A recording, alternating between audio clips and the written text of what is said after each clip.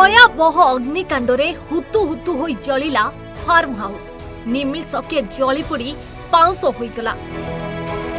এভাবে এক ঘটনা নীলগিরি ব্লক পিঠাহতা পঞ্চায়েত পিঠাহতা গাঁরে গতকাল বিলম্বিত রাতে ঘটিছে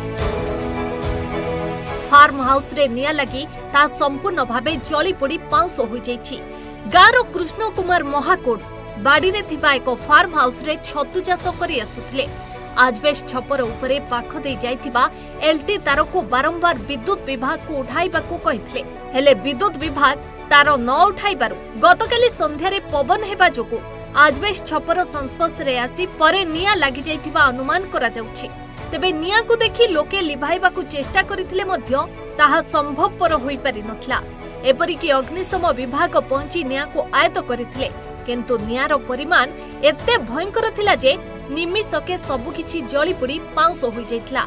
ନିଆଁ ଆଁରୁ କିଛି ବଞ୍ଚାଇବା ସମ୍ଭବପର ହୋଇପାରିନଥିଲା ନୀଳଗିରିରୁ ଗଣେଶ ଜେନାଙ୍କ ରିପୋର୍ଟ ଓଡ଼ିଶା ଭାସ୍କର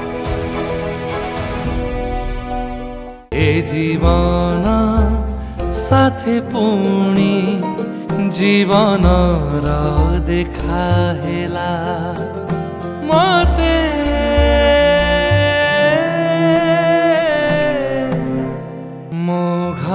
साई सबुरी हॉस्पिटल बालाकाटी भुवनेश्वर